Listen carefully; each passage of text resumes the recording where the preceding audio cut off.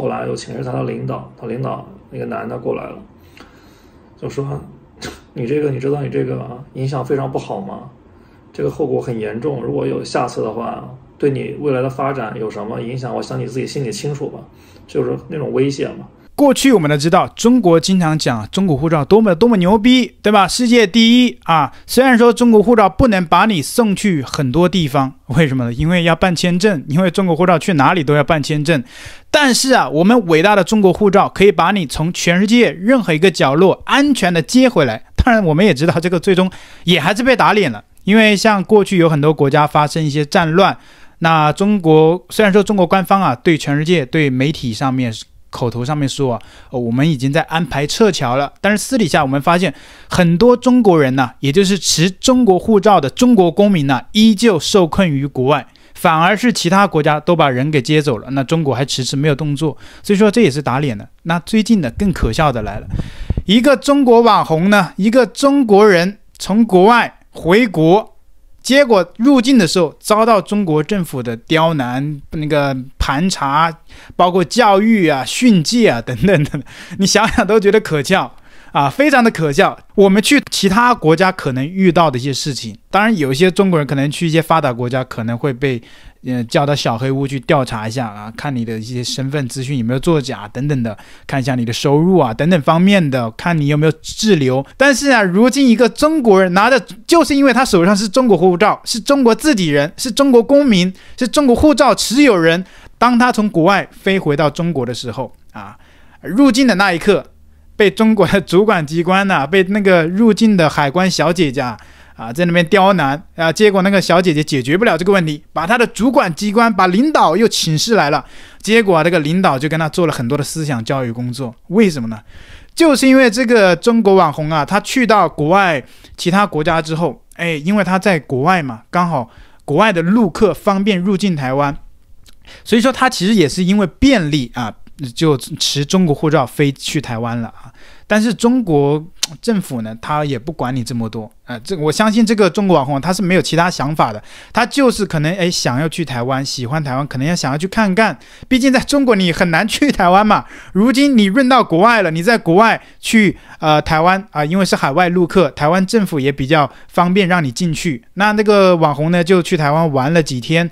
然后感觉都蛮不错的。台湾政府入境的时候啊，啊一看啊，这些都是外国公民呢，有一个政策叫什么抽奖，对吧？即便他是拿着中华人民共和国中国护照的持有人，台湾政府依然是让他参与去抽奖。结果他抽了一个五千台币，你想想，中国人几天能挣到五千台币呀？对不对？他只是因为入境台湾抽到了五千台币，而且入境也没有那么复杂。而且还是中国护照持有人去敌对国家去台湾了，台湾也没有刁难你。结果呢，这个中国网红回到中国被教育了一番，为什么呢？就是大家都知道的“一中”政策啊，触动了中国的敏感神经。中国政府啊就认为啊，不管中国公民你从哪里回国，你回国的时候如果从台湾回来的话，那中国的这个玻璃心就碎一地了。你可以拿一个他们就是中国所谓的那个叫什么台湾通行证。啊，就是大陆居民往返台湾通行证，你拿这个去台湾，然后从台湾回来，它是可以的，去是接受的。一些中国人在国外去台湾的话，你如果回国是有风险的。所以说，你可以在国外往返台湾，这样是没问题的。就是你在国外，但是你的下一站不要是回国，不要回中国。比如说，你是在日本的华人，呃，中国人在日本的中国人，你可以去台湾玩，但是你要从日本往返台湾，也就是说，你从日本飞台湾，然后从台湾又飞回日本。其实，哪怕你飞往韩国、飞往其他国家都没关系，你只要不要飞往中国。一飞到中国啊，就感觉你飞到他的玻璃线，那个踩到他的红线了，他就开始跟你叽歪叽歪了，而且都是自己人，他还跟你屁颠屁颠的讲这些这个呃哔哔啦吧啦讲这么一大堆，对吧？自己国家的公民啊，这还这样对对待自己的人，不是说中国护照牛逼吗？其实也就正是因为你手上拿的这本是中国护照。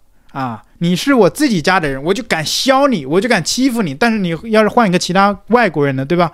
美国人呢？美国人他也可以拿美国护照进台湾呢，同时他也可以从台湾那个美国人直接从台湾飞到中国来。中国政府肯定不会说，哎，你你怎么可以拿着你美国的护照飞进去台湾呢？你不知道台湾不是国家吗？你不知道去台湾之前要办一个通行证吗？这个对于外国人来说，这就更加不合理了。当然，理论上也没有这样的一个证件发给外国人啊。你想想这个逻辑就行不通啊，对不对？但是昨天晚上在过境的时候，其实还是不愉快，不太愉快，心情不是很好。本来准备昨天晚上。就录一段的，但是昨天心情很差，海关人员已经在门口等着了，就直接问你是不是从台湾入境的，拿护照的，对不起，不能从这儿过，得去人工柜台。那没办法呀，就直接去的那个人工柜台，那就自然如我预想到的那个流程啊，就是挨训啊。就接待我的那是一个女海关，一个东北口音，直接就是你这是啥情况啊？然后就是。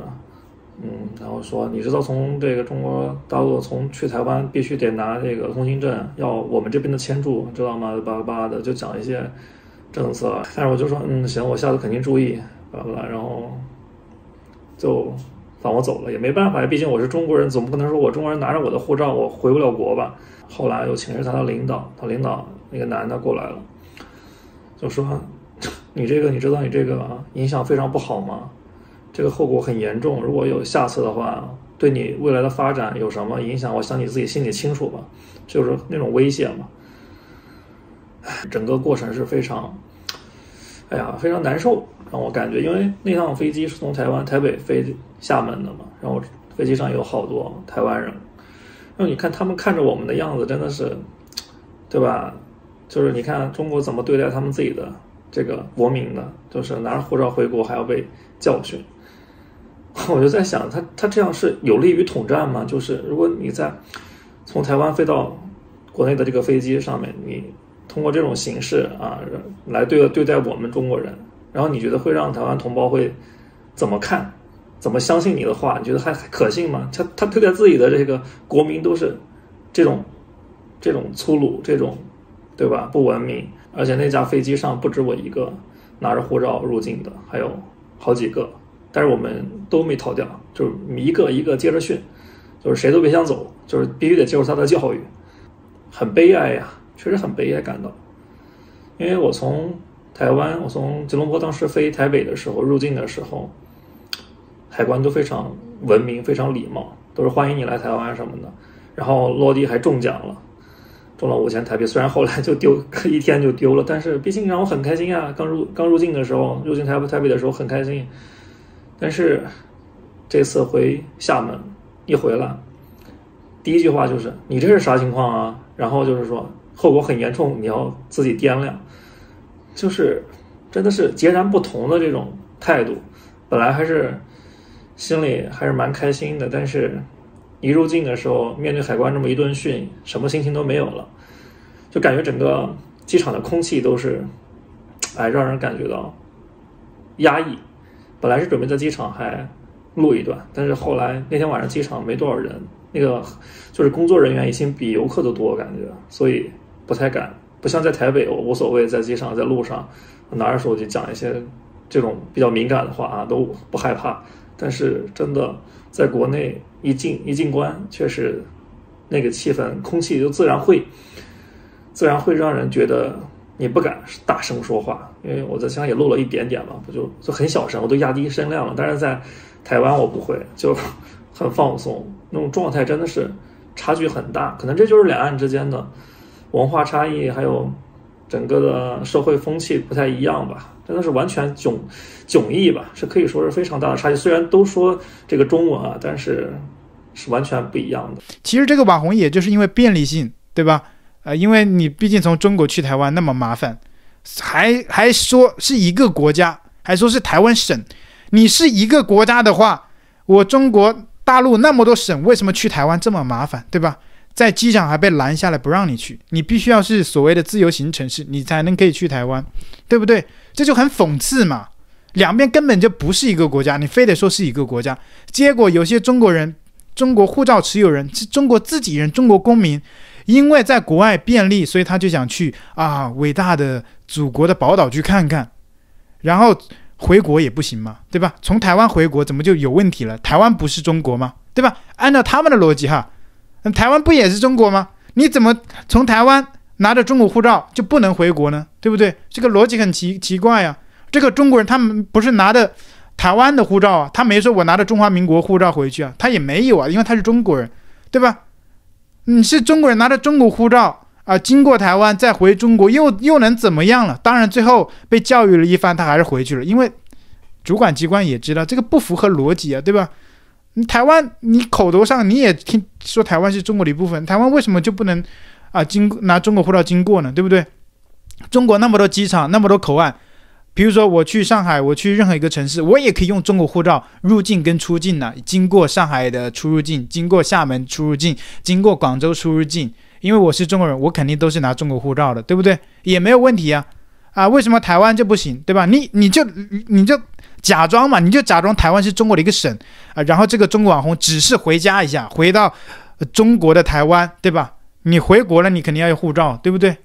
所以这个理论上也没有逻辑啊，但是中国的红线就是这么的奇怪，结果就玻璃心碎了，啊，我也是真的蛮纳闷的。大家就一起来看一下接下来这个影片。那大家对于这一次的事件有什么样的看法？那欢迎在荧幕留言区分享一下你的观点。你们拿台湾护照去其他国家有没有遇到这种状况？当然，这个最主要是你们拿着台湾护照回来哈，回到自己的国家，回到台湾，台湾的入境的海关会刁难你们吗？你这个你知道你这个影响非常不好吗？这个后果很严重。如果有下次的话，对你未来的发展有什么影响？我想你自己心里清楚吧，就是那种威胁嘛。一张中国脸，一本中国护照，就是通往最安全地区的通行证。